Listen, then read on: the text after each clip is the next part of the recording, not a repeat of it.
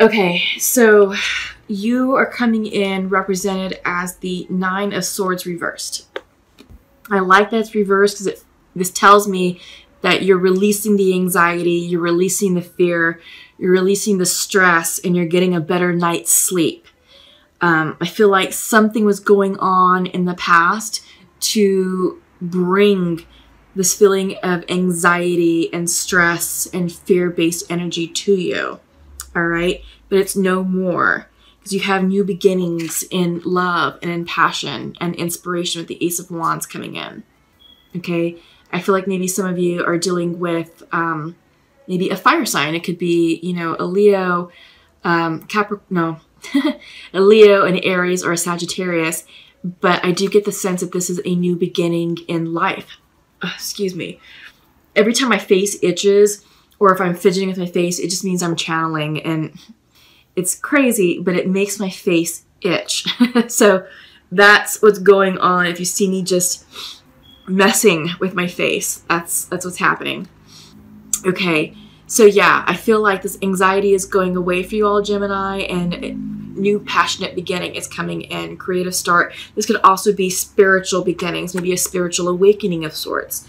All right. You are feeling nostalgic because foundational to you is the Six of Cups coming in upright. This is a card of nostalgia. This is the card of the past. This could also represent a past twin flame, past soulmate coming in for you as well. What am I getting? What am I getting? I feel like you're also being asked to connect with your inner child and to sort of remember who you were, um, you know, as a kid going growing up. What is it that you wanted to be? Um, what is it that made you happy? What what were your dreams? You know, growing up, and sort of to revisit some of that and incorporate your more of your inner child in with you in your current state. In your past position, we have the Queen of Pentacles reversed. Maybe some of you were dealing with an air sign. Maybe, I'm not air sign, earth sign. That would be Taurus, Virgo, Taurus, Virgo, or Capricorn. Maybe an earth sign reversed themselves out of your life. Maybe this could be part of that past lover that's coming in, right? But whatever it is, whatever this nostalgia card has um, means for you, what it symbolizes. Again, it could be living in the past, revisiting the past, and it could also represent, again, a past lover coming through. It has you feeling anxious. It has you feeling combative, defensive. Um, this, this, this is this card is people problems. So maybe it's not such a good thing that this blast from the past is coming in to visit you. And I believe you're like the second or third sign, you know, for February that's getting this um, blast from the past. Um, but yeah, I get the sense that it's it's not sort of a, a happy reunion. There's conflict, and I don't know if they're asking you for another go round, but you're fearful of heartbreak. Just sitting in your future position. You're fearful of getting your heart broken again, and there's a lot of back and forth with it. I feel like there's a lot of struggle on your part because I do get the sense that you know there was love there, and I feel like there was a great it was a great relationship once upon a time, but maybe not so much because it did end and it ended for a reason. And I feel like now they're back, and you're like, oh God, look, you know, if I give you another chance, I'm struggling with myself because I don't want to get hurt again, and it's valid. It's valid. So these are your concerns with this this um, past flame. Okay. So you are seeking mental clarity. Um, Page of Swords reversed. I feel like there's a lot of confusion going on, you know, associated with this. And we see that in your mind's eye. You're struggling. You're back and forth. There's just a lot going on up here emotionally. And you don't have the clarity that you that you desire right now. And it is emotionally draining for you. This is the Four of Swords reversed. You're exhausted. It's time to really take a pause and to reflect and to step step back and be like, look, I need to catch my breath, right? I need to catch my breath. I need to figure this out, and um, I don't want to be in a situation where I'm going to get hurt again. Not interested in having a broken heart again by the same person. So I do get the sense that once you allow yourself this time to reflect, to rest, and to recharge, you are going to choose ultimately to walk away. I think you're going to walk away from the connection realizing that it didn't serve your highest good. It was a karmic situation and it ended for a reason. And now it's time for you to, you know, you're walking away from the spilled cups and going in search of your two of cups, your true love, your real love, right? And I think once you make this decision, you're going to feel so much better because this is the Eight of Swords reversed. So you have the Nine of Swords reversed, you have the Eight of Swords reversed, you have the Five of Cups reversed. So you're walking away from shit that no longer serves your highest good. And you're like, no, F that, because I've got bigger and better things coming in. I've got new beginnings, new blessings, new love, new passion coming in. And it doesn't involve the past. The past is in the past for, for a reason. And it's time for you to let go of all of that anxiety and all of that toxicity that just really stressed you out at night. And that stressed you out, you know, for Sorry, there's activity going on outside city living. Sorry. But yeah, so you you are walking away from things that no longer served you and you are getting a better night's sleep. And I think you're excited about that and you are gaining the mental clarity that you need because these swords of confusion are falling out.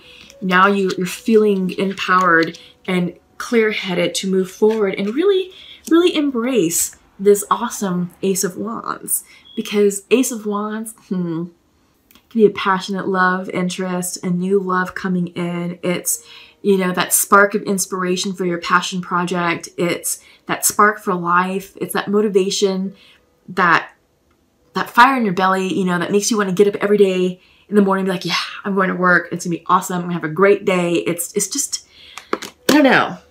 Ace of Wands is probably one of my favorite cards because it's just like it's just so exciting. And there's so much promise and possibility and optimism associated with it. So I really appreciate the Ace of Wands, and I'm sure you do too, Gemini. So, all right, since we're kind of on the topic of love and possibly being revisited by the blast from the past, let's check in with the Pure Love Oracle deck. So feminine has three, masculine has two, Okay, so masculine to his feminine is saying, I feel I do not deserve you, and I'm sorry I hurt you. Okay? Yeah. I feel I don't deserve you, and I'm sorry I hurt you. And feminine would like to say to her masculine, I need some more time. I'm sending you love right now, and I wish you were with me. Yeah. Interesting. They say time heals all wounds, right? Yeah, so I get the sense that there was maybe a check in with this particular connection, and it is someone from the past. And it could be the recent past, I'm getting maybe six months ago, that you all decided to, to break up and split.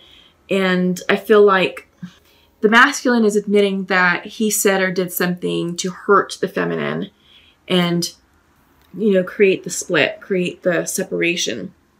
I get the sense that there was a check in recently because she's saying, I need some more time, right? And she's like, Look, I need more time. I'm not ready to deal with you. Um, but I, I wish you were here with me and I'm sending you, you know, love and light. So there is love there on her part, but she's just not ready to accept this masculine back because she really is struggling with with her feelings, with being conflicted about her heart that's still not healed, right? And she doesn't want to get hurt again. I mean, she doesn't. Who wants that, right? But there are new beginnings coming in for her or for this Gemini. Again, take it how it resonates. So the on the feminine side of this particular oracle deck, the feminine is saying that they're not that they need more time, but the reading for the Gemini is saying there's new opportunities coming in in passion with the Ace of Wands, and Gemini is struggling with a wounded heart, with putting themselves back together again, and they're not ready to deal with this particular person. They may be ready to deal with someone new, to welcome in a new opportunity, maybe to go back out on the dating scene and just kind of see who's out there, put out some feelers and see what connections are made, what friendships are, are you know, created, you know? So you might be ready for something like that. So keep your options open, Gemini, because I do get the sense that, that that's what you're doing, that you're healing. You're healing from this connection and it was a profound connection and it, you're still very much fearful of a broken heart and you're not trying to exacerbate the situation further because I, I feel like if you go back to this person that you're going to be regressing in your in your healing process that you may be fearful of regressing in your healing process. Um, and i don't think you want to do that. But you are choosing to walk away from situations and energies that don't serve your highest good and you are going in search of your two of cups and we're seeing that with you know the five of cups reversed. Once this man turns around there's two of cups waiting for him. So yeah and you are releasing the anxiety and the stress we're seeing that with the reverse eight of swords the reverse nine of swords that's you crossed with the ace of wands so yeah a healing and a blessing is coming in for you new beginnings you know, it's time to again let the past remain in the past. And, you know, again, you've told this person, I'm not ready for you. I can't deal with you right now. I need more time. I love you, but I need more time. But in the meantime, you can continue to explore your to, you can continue to explore your opportunities, new people, new connections, new friends. See what's out there. You never know. All right. So let's go ahead and check in with the shamanic oracle deck and see what the shamans have for you. Nope, don't like that one. Sorry, I need a clean, um, a clean shuffle. That was, that was not it. so, we'll take these two up on top. What do we have? Hmm, the corn and eagle. So eagle is all about the strategic vision, the big picture. And corn deals with abundance. So I'm going to pull from the book. Um, I really want to make sure that you're getting the essence of the message because these these cards are these cards are awesome. So corn is coming in for you. Corn represents the mother of sustenance and tangible abundance. This symbol represents material prosperity in the world of form that provides stability and sustenance to many. There is more than enough. You planted a beautiful field of dreams and worked hard. Even in moments when you were losing faith, you continued. Now the spirit of the corn comes to honor this and show you a bountiful harvest. This is the this is the time to reap the rewards of hard work and trust whether those rewards are financial or the kind of prosperity measured in quality rather than quantity. You are so blessed when this symbol appears. Don't forget to share your good fortune. Oh, I love that. I think you needed to hear that, Gemini. You're so blessed. You're taken care of. Life is really good. You know, there is an, an abundance of blessings for you. So I'm happy to see that message coming in. All right, so eagle coming in reverse. It's coming in as medicine. So I'm going to read it upright for the meaning and then I'll turn it reverse for the medicine. Okay, so eagle comes from the east, the place of the rising sun, of new beginnings. She soars high in the sky, sees the smallest detail with clarity without losing track of the bigger picture, and nests in the high mountains. For Eagle, there are no obstacles, only opportunities. She calls you to ascend, to acquire perspective, so you can fly wing to wing with great spirit. Oh, I love that. So, your medicine is it's time to see through the eye of Eagle. Let your vision of the whole and and of its parts become laser like and set your priorities straight. What did you come to do in this life? Did you come to climb up the ladder of financial or social success? Did you come to become a better person, to heal your heart, and to realize your essential self? What is your divine mission here on earth? No more excuses. Of course, you don't have enough. Of course, you do not have enough time, enough money, or enough sleep. Yet the time is now to fly to your chosen purpose. If you postpone it, you are betraying yourself. Look through the eyes of eagle and consider every obstacle an opportunity. Where you set your intention is where you'll end up. Free yourself and live your highest destiny. Fly. Oh, hang on. Let me see what's going on out there. Sorry, it's just. I live in a large city and kind of went on a busy street. And, um, you know, sometimes when you hear ruckus and commotion, you just kind of need to check it out to make sure your personal property is okay. All is well. So it's just the wonderful joys of city living, which I love, but you know, it's always exciting. But yeah, so Gemini, eh, this is your this is your time. This is your time for you to to fly high like an eagle. Things are great. Don't worry, you are taken care of. And now is the time. I feel like this Ace of Wands goes right here, right in line with the eagle. And this is about you just following your path, your calling. What's your purpose on earth? Again, I was asking you, are you here to climb the financial and social structure, the social ladder, or are you here to be a better person and to fulfill your life's purpose and dream? What is that? So, what are you meant to do here on earth, Gemini? I feel like that's the big question. That this is the ace that's coming in for you, this ace of wands. What is your life's purpose? Because your life's purpose is your passion. Okay? Comment below, let me know what that is. I'm really interested in hearing about that. So up next is I'm going to tap into the Sacred Earth Oracle. We're going to see what's going on there. I love these cards because they have uh, a great way of communicating with the message of the Shamanic Oracle. There's been a lot of synchronicities that have been coming out. So, and plus the artwork is gorgeous. So you receive the card of expectation. Look at that. How beautiful is that? Yeah. I am drawn to the dragonfly wings I'm drawn to the fact that this person is facing the east of the rising sun. And we just talked about the east in the rising sun, which is new beginnings. I feel like this card is illustrating the message of the eagle, what the eagle represents. So the eagle governs um, the direction of the east. So yeah, I feel like this person is facing east admiring the rising sun, a sunrise, new beginnings, spreading their wings of transformation. This is a dragonfly, which which represents transformation, movement, air energy. Yeah. I like that there's buffalo in the foreground. And I like that there's, you know, a luscious green pasture because I feel like this represents abundance. And I sort of feel like that's perfect growing ground for the corn. Yeah.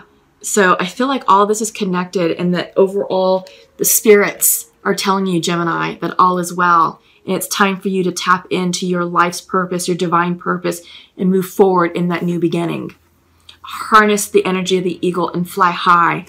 Fly high and have no regrets in the direction that you're going in. Yeah, set your sights high and, and just go. Just just go. All right. So let's go ahead and conclude with the message from the um, angel messages. Let's see what's coming through for my Geminis. Okay. Your message is coming in from Shanti. I am the angel of peace.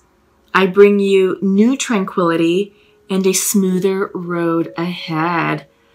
Oh, I love that. I think that's exactly what you needed to hear, Gemini, because we're seeing all this reversal of sword energy. You have four of four of swords reversed, eight of swords reversed, nine of swords reversed. You have five of cups reversed. All that is just letting that emotional baggage go. You're you're letting the anxiety flow away.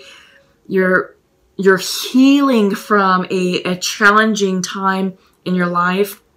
And now it's time to answer the call of eagle to fly high, to move forward with your life's purpose. And Shanti is here to say yes, and it's going to be a smoother ride. I am the angel of peace. I bring you new tranquility and a smoother road ahead. Oh, I love that. I love that for you all.